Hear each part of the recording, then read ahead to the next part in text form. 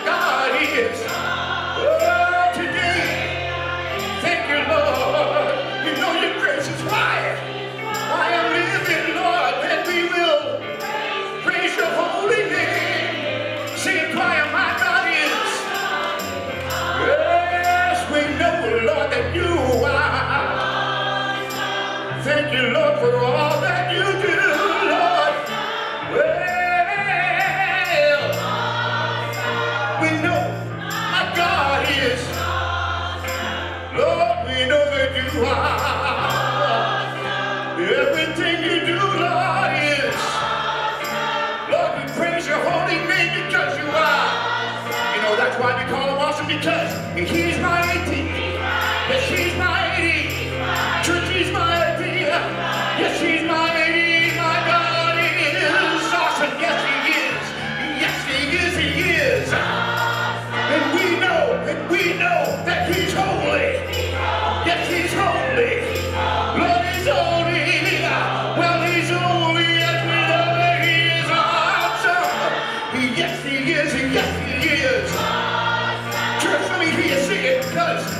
great.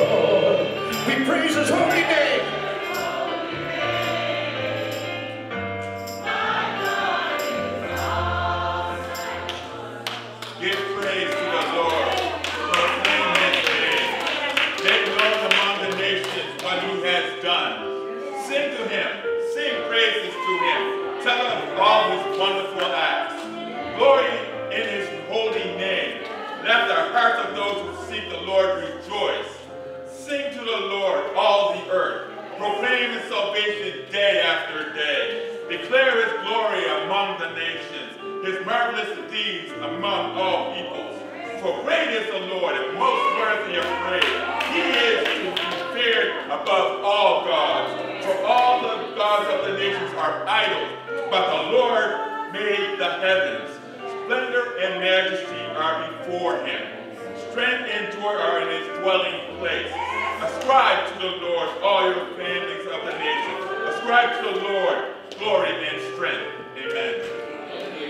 Our gracious and everlasting Lord, once again, we just thank you for bringing us together for another time of prayer, worship to you, dear Heavenly Father, for all the great things that you have done us.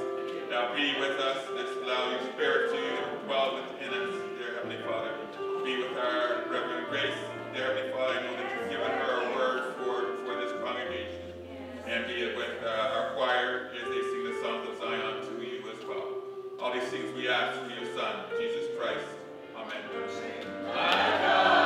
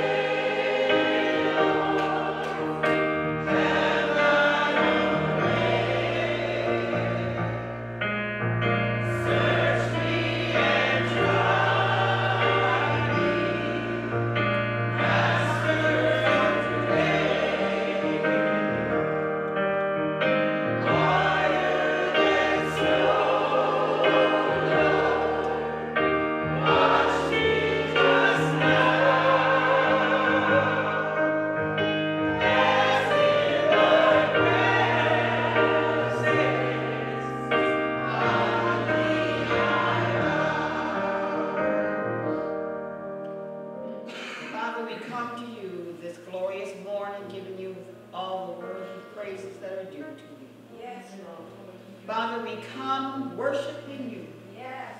for no other help do we know. Your word says, Lord, that I consider that the sufferings of this present time are not worth comparing with the glory about to be revealed in us. But God, if we hope for what we do not see, then we will wait for it with patience. Romans 8. Lord God, I come to you this morning, Lord, with all of us at the foot of the cross. And Father God, we cannot help but wonder and ask and bask, Lord, in your glory. Yes. What is man that you are mindful of us? Yes. Father, how many sunrises have you granted this world? Mm-hmm. Up to today. Yes. Father, how many raindrops have fallen on how many hearts? How many meals have you sustained for your people throughout the history of humanity? And oh God, how many hearts have been comforted by your love? Father, what does your faithfulness look like? Your faithfulness looks like countless instances of your goodness. Yes, Lord Jesus. So, Father, we come this morning knowing that, Lord, you are a mighty God, an awesome God, our, our protector, our provider, our deliverer. Oh, God, you bring healing and you bring strength and you bring comfort. Father, this thing that I know I declare to you this morning, Lord, on behalf of your people, that you alone are our refuge. Yes. That God, you are our place of safety, Yes, Lord and Jesus. that we must put our trust in you. Thank you, God. Thank you. Father God, you said in your word that you will rescue us from every trap Yes. and that you will protect us. Yes, Lord. Yes. Father, you said in your word that you will cover us with your feathers and you will shelter us Yes. with your you. wings. Thank you. Thank you. Oh God, we thank you, God, for your promises. Yes, Lord, yes. Standing on the promises of Christ, my Savior. Thank you, Father. Father God, you are my armor, our armor, and you are our protector. Thank you. Yes. Lord God, we need not be afraid of the terror of the night. The calls that we get during the day, the calls that we get during the night, whatever those calls, whatever I have said in my soul, God, each one of us must say in our soul, it is with my soul. Amen. Thank you. Father, we pray, God, that we will continue not to be afraid, that we will walk, Lord, in the light. For. God, for Father, you said that a thousand may fall at our side, ten thousand will even die around us, and it will not come nigh. So hand of protection, hand of comfort, hand of strength, hand of refuge. Come, Holy Spirit, come. For you, God, are the most high, and you, God, are, are, are our shelter. Thank you, Lord, that no angel, that angels are protected. Yes, Father, we pray, God, for the grieving families, Yes. for those families, Lord, that are dealing with sudden death and the loss of our loving sister. Yes. We pray, God, for Sister Carol and Alice and all the members of their family, Lord. Yes. This church family, for God, we are indeed Judy's family. We pray, God, for those who are sick at home. We ask you, God, to continue to strengthen them and bring comfort to them, sustain them.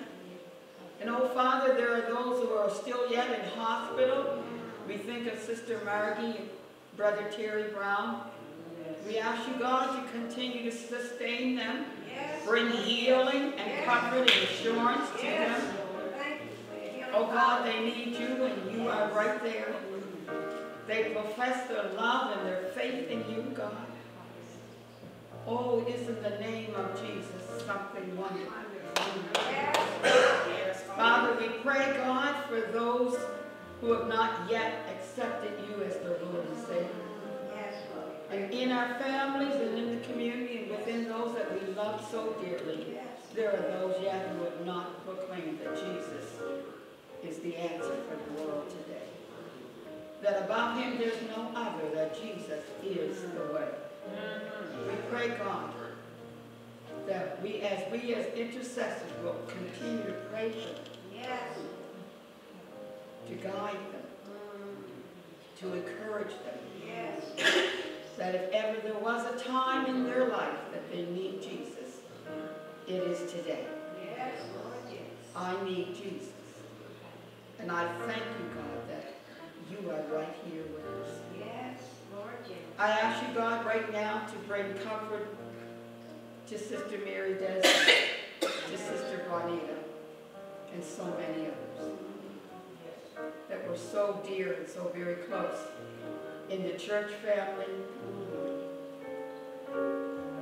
and in her Olivet home community, Father. We come because we realize that no other help do we really have.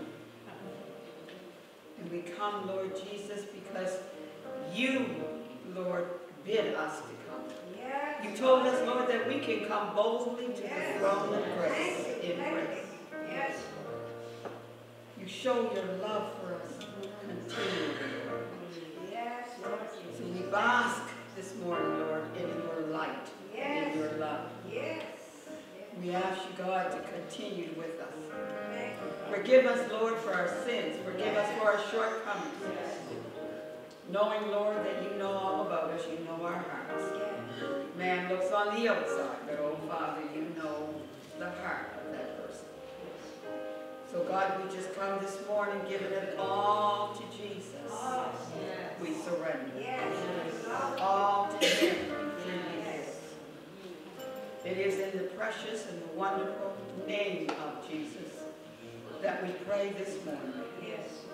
the matchless name of Jesus. There's no other name given to men whereby we might be saved but at the name of Jesus. Every knee and every shall bow and every tongue shall confess that Jesus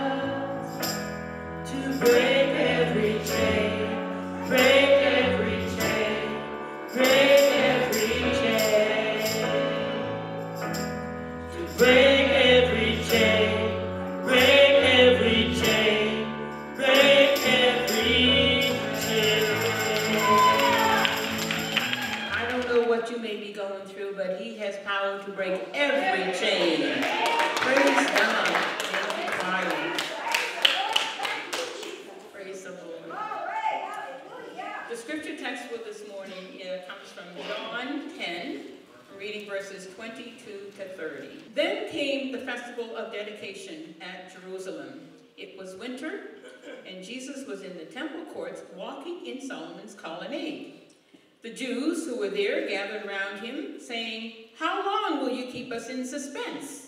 If you are the Messiah, tell us plainly. Jesus answered, I did tell you, but you did not believe. The works I do in my Father's name testify about me, but you do not believe because you are not my sheep. My sheep listen to my voice. I know them, and they follow me. I give them eternal life, and they shall never perish. No one will snatch them out of my hand. My Father who has given them to me is greater than all. No one, no one can snatch them out of my Father's hand. I and the Father are one. This is the word of the Lord. Thanks be to God. May be seated. Father, I thank you for this opportunity to be before your people. Nothing in my hands I bring, simply to your cross I cling. Father God, I pray that you would use me this morning, Lord, to be an encouragement to your people. Let your people know, Lord God, how much you love us, how much you care for us. Use me, Lord. I can I empty myself, Lord, so that you might fill me. Surrender myself to you, God. Use me and to bless your people in whatever way you would. May your word be a lamp unto our feet and a light unto our path this morning. These things I pray in Jesus' matchless name. Amen.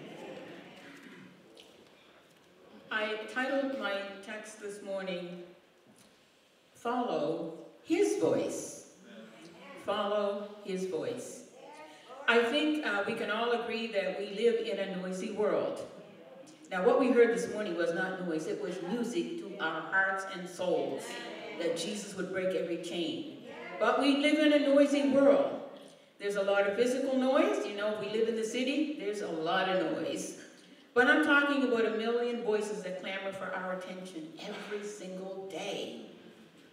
That it can become hard for us to hear the voice that really matters. That's why Jesus says, my sheep hear my voice.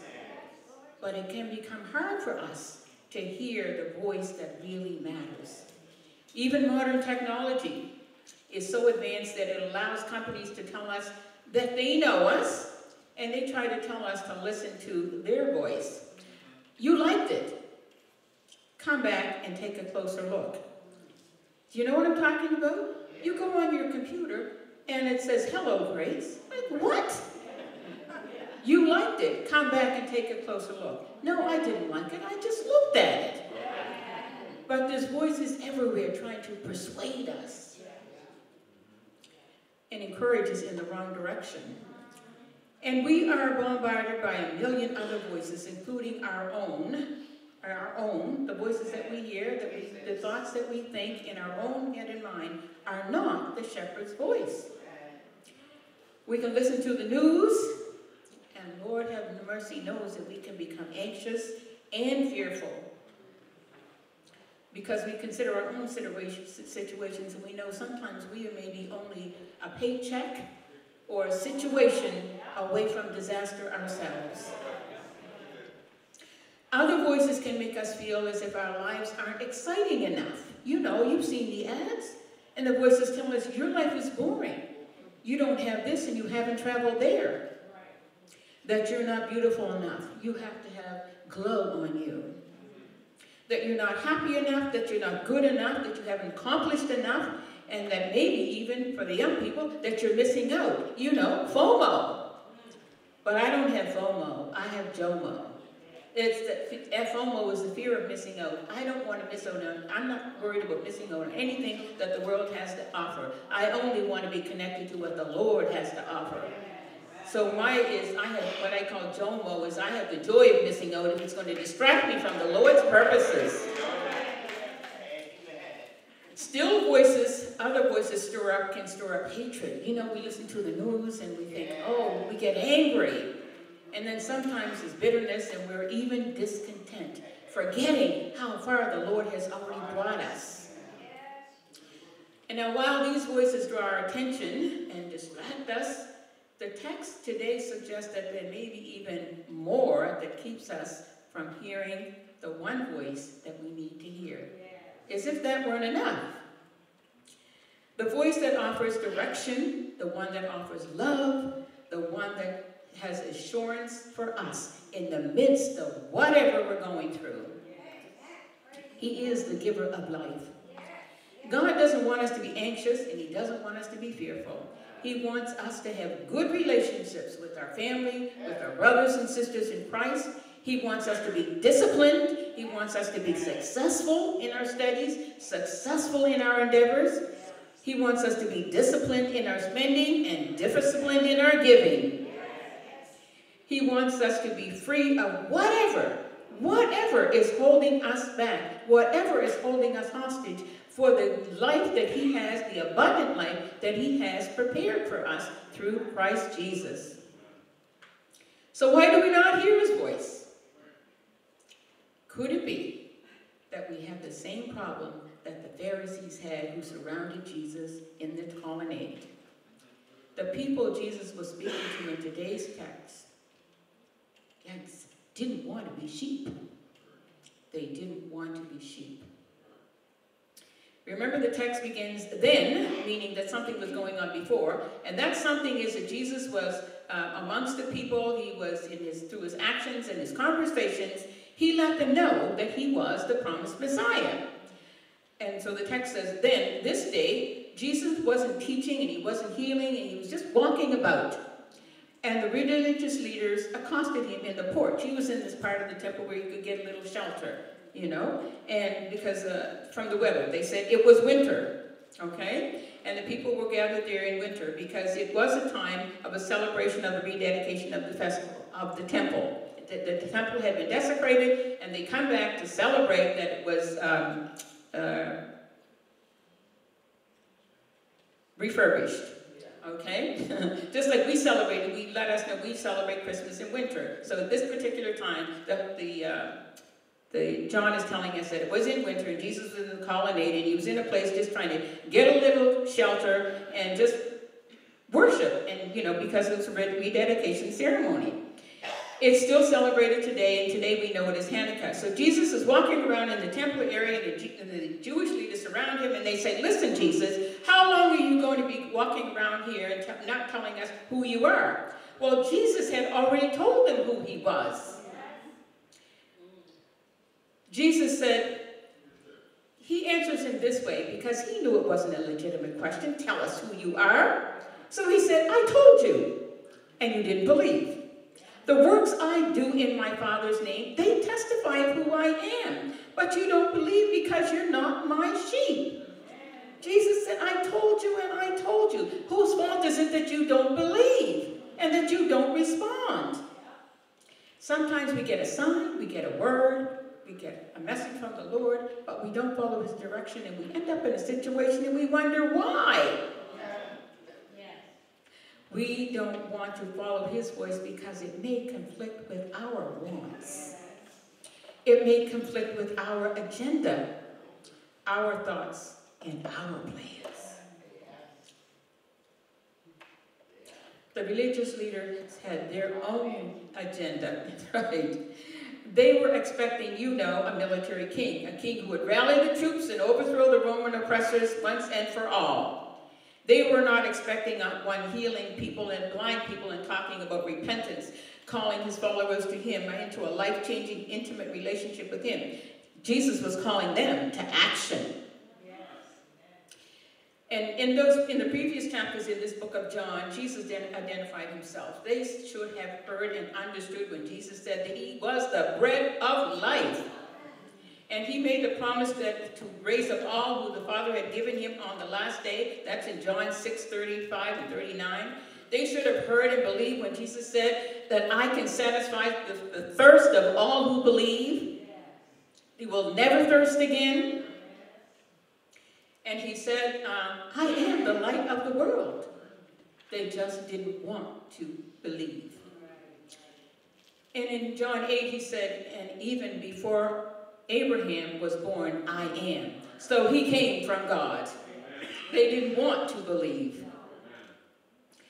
They had Jesus' words, but they also, and we have his words oftentimes, but we harden our hearts. They had Jesus' words, but he also showed them in his works that he did, what he did was in the Father's name. The Jewish leaders had seen and heard about many healings, and we have too, including the lame man by the pool of Bethesda, Bethesda and the man born blind. He miraculously turned the water into wine, and he read, fed 5,000. How many demonstrations of his messiahship did they need to have? How many messages do we need to hear? How many instructions do we need to receive? But they are not willing to admit their blindness. Again, they had their own agenda.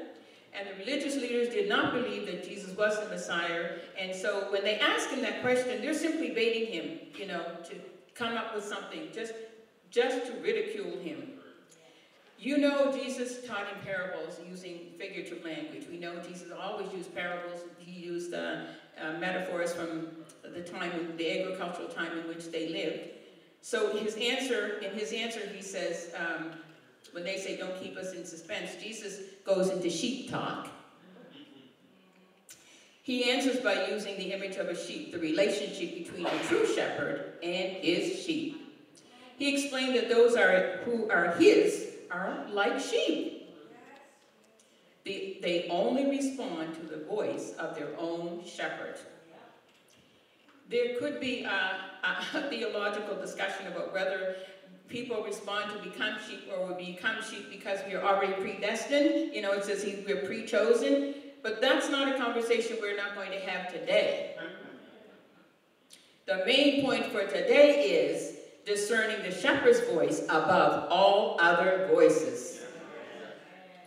We must shut out all the noise, that is all the distractions, even those things that keep us from showing up in church on Sunday. We have to shut out all the lies of the enemy and listen to the still small voice of God. Listen for his voice and follow where he leads. His voice needs to be the clearest voice we hear and respond to when competing voices try to pull us in all different directions and hold us in all different directions. If you don't, you might get confused thinking that right, wrong is right, running left and right. Remember Jesus, don't turn to the left, don't turn to the right. The only way to know which way to go or to walk is by intentionally listening for the sound of his voice and following it. The word has it all. Don't be like the Pharisees and reject the voice of the Lord because his way is not our way. Because he calls, because he, his way calls us to action.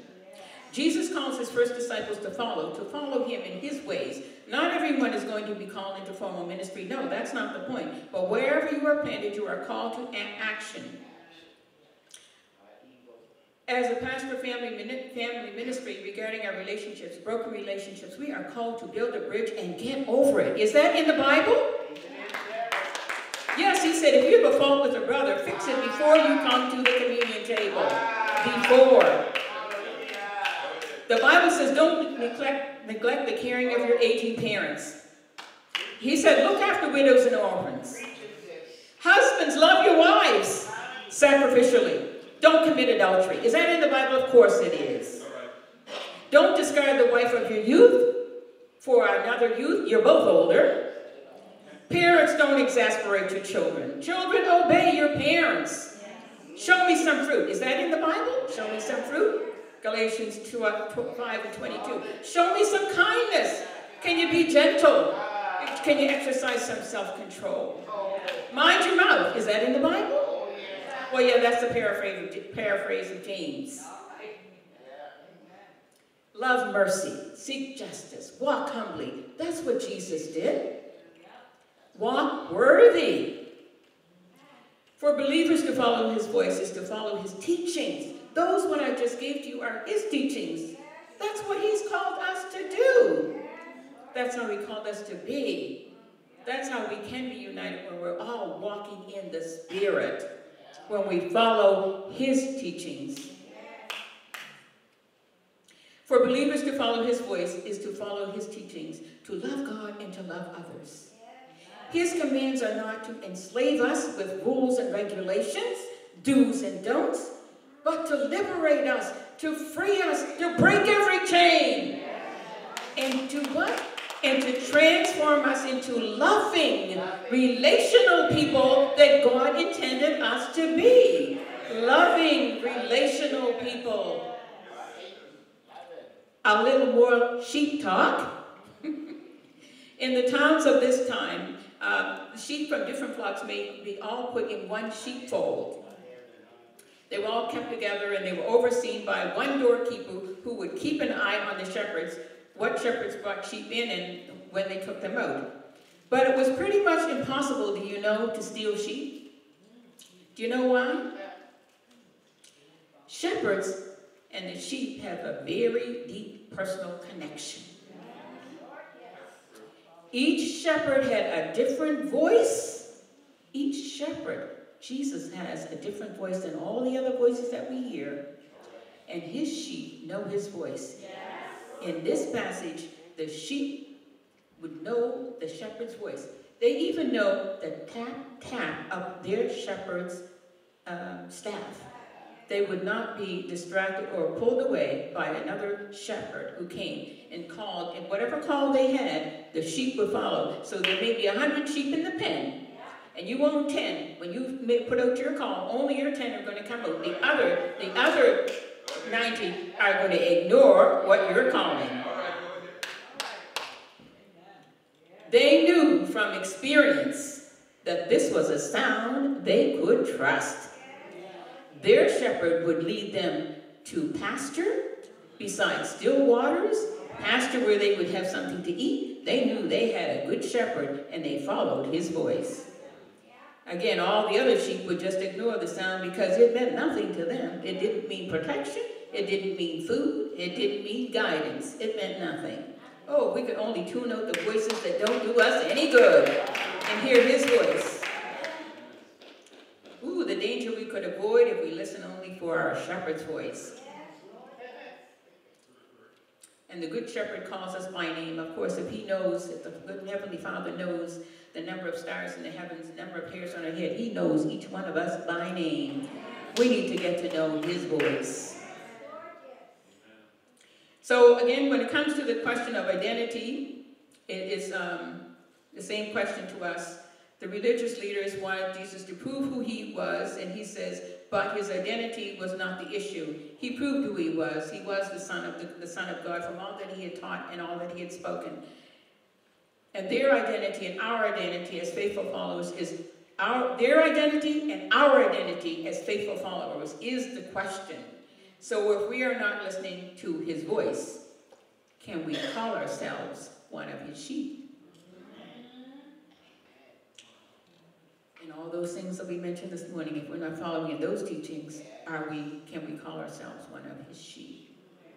My sheep know my voice, I know my sheep, and they follow me. Yes, Jesus calls us sheep, that's what we are, and he is the only true shepherd, so his voice is the only one that we can trust.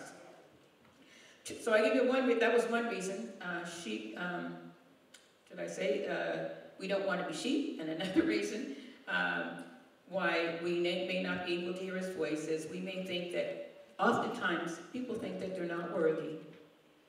That is true. I've heard people say, I messed up, I don't know, but it's too, it's too, I'm too far gone. But we're never too far gone for God. He can reach you wherever you are. In Luke 8, 19, Jesus said, the Spirit of the Lord is upon me, and he is the Messiah. He has anointed me to preach the good news to the poor. He has anointed me to announce pardon, reconciliation, forgiveness, breaking up every chain. You're never too messed up. You're never too far gone. No one is worthy, by the way. No one is worthy. We are not right made righteous. We are only made righteous by the blood of the Lamb. Jesus, the Lamb of God, who takes away the sin of the world. Now, you may not want to think of yourself as a sheep, but that's again what Jesus calls those who are his. You know, sheep will fall on the ground sometimes. Did you know that if a sheep fell, got, got over on its back, it cannot get up by itself? It actually has to depend on the shepherd to come and help it up. So sometimes when we fall down, we need to call on our Savior. We can't, you can't always pull yourself up by your bootstraps.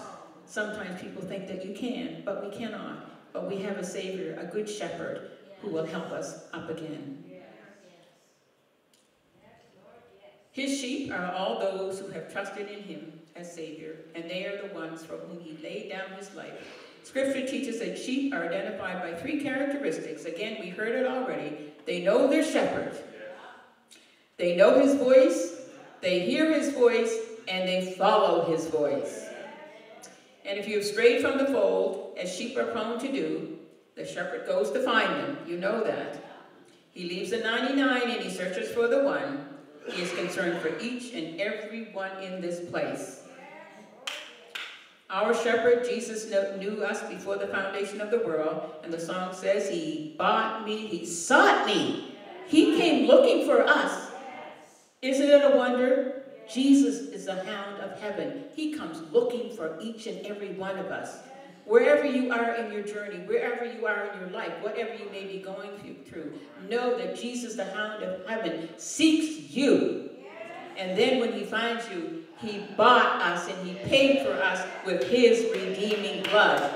Why would you not respond to his voice when he calls us to come to him, surrender to him, the light of the world, the one who gives life? Sometimes, though, we as, as humans, again, though we uh, are rebellious sheep, we begin to ignore his direction and we choose to listen to the competing voices that promise to give us what we want. And as we go our own way, and this is the difficult part for one who loves her family and her people, and everyone who doesn't know the Lord Jesus Christ, it becomes harder to, for them to hear Christ's voice. This is not me speaking. This is me giving you the heart of the Lord Jesus for you. He wants you to bring you into his flock. But when it becomes harder to hear his voice, the way back is really just to surrender your personal preferences and your wants and say, Lord, help me. Just ask the Lord to help you. And we will hear the, the clearly, hear more clearly the shepherd's voice calling us back to himself and to do what is best for us. I just want to re refer reference Jonah. Uh, you know how Jonah was disobedient. He didn't do what the Lord asked him to do. And whenever we do, don't respond, respond to God's call, we never know where we might end up. I don't know. But I know I wouldn't want to end up in the whale of a fish, in the belly of a fish. That's figuratively speaking. It was pretty messy in there. So it means I would want to end up in a messy place. C.S. Lewis says that sometimes things happen in our lives that force us to listen. We don't want that to happen, right? God whispers to us when we're in our pleasures, he says. He whispers to us. Sometimes we don't hear the whisper, do we? And then he says, he speaks to us in our conscience, but he shouts in our pains. Does God have to put you in a situation of desperate pain to rouse us? He says it is a megaphone to rouse us in our deafness. So don't, but don't think you are no longer worthy. Recall again one other person before I come, get towards the end. If we recall, if you think you're unworthy, recall Adam and Eve and who hid in the shade in the garden. They after disobeying God. They hid, trying to distance themselves from God. When we mess up, this is not the way to go. But hear his voice today speaking to your heart. I love you. I care for you. And he's calling your name. He wants to lead you beside still waters, to anoint your head with oil, to prepare a table before you in the presence of your enemies, to bring you to safety, to a fullness of life. He wants you to listen and respond to his voice.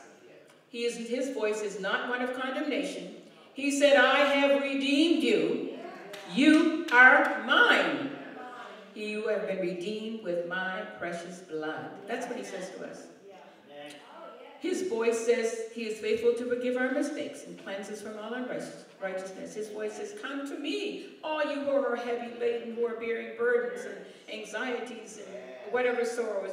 Other people may contradict what God is telling you, people who don't know the Lord as well. Others may have an opinion, but you can trust the one who laid down his life for you.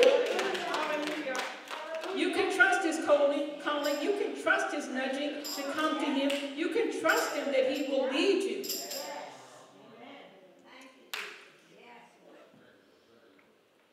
In the context of the last couple of verses, Jesus said, My sheep listen to my voice. I know them and they follow me. I give them eternal life and they shall never perish. No one will snatch them out of my hand. Jesus has a grip on you. Even when you are weak and you let go, he has a firm grip and he will not let you go. Isn't that encouraging? You're never going to go so far that Jesus loses his grip. So you can't go under because he's got a grip on you. He's our protector and our shepherd who guards and guides, who feeds and protects and defends anyone who tries to snatch you out of his hand. And like I said, you let go and your arms are failing, but he's got you. He's got you. A shepherd would guard his sheep with his life. The sheep pen was a large enclosure made of, it was just rocks piled up about three, three feet high. And it had an opening for the sheep to, just to get through. And the, like I said earlier, the large pens had a watchman so that if you had 10 sheep, you come in, you call, and you take yours. But the smaller sheep, the smaller sheep pens, where you only had your own sheep in there, the shepherd himself would lie down at the opening and be the gate to fight off the wolves and any predators trying to attack the sheep. And in, in, earlier in this passage, Jesus said, I am the gate. I'm the gate. So any attack upon you, you've got to go through Jesus. He is the gate. And you already know he laid down his life for you.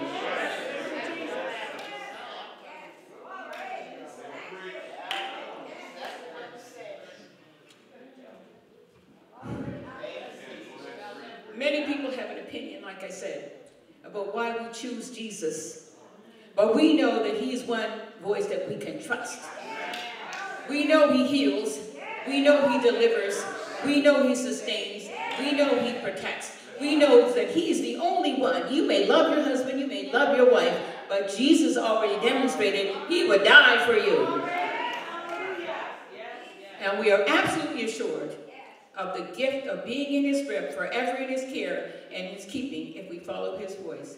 Now that you are reminded of how much the Good Shepherd loves you and cares for you, if you've heard his voice, what will your response be today? Tomorrow? Will you follow his leading? Will you answer his call today? Will you follow his teaching? Will you always obey his voice?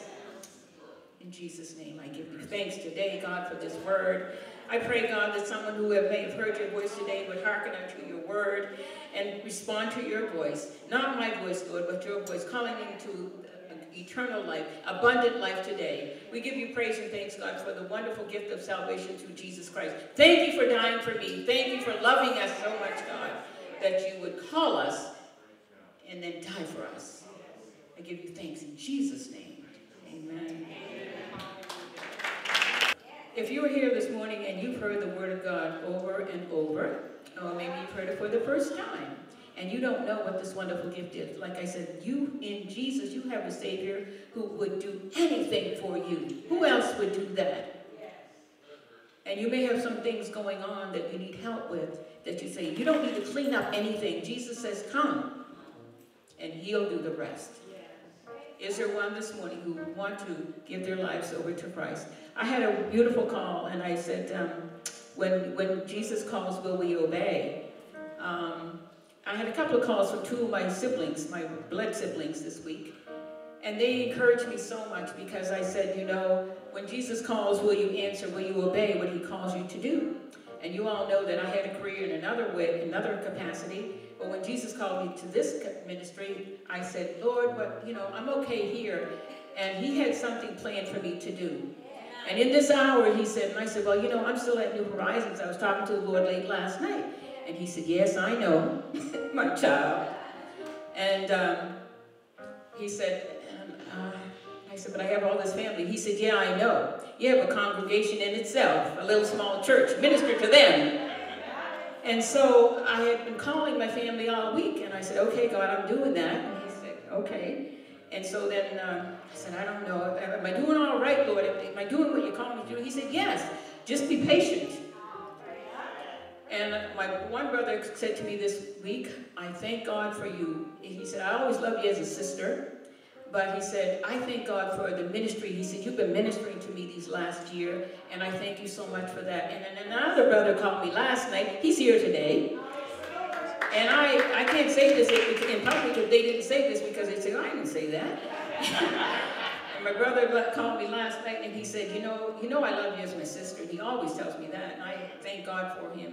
He said, but you know, he said, you minister to me. He said, I'm talking to you in your ministry capacity. So I said, yeah, thank you, my brother, Archie.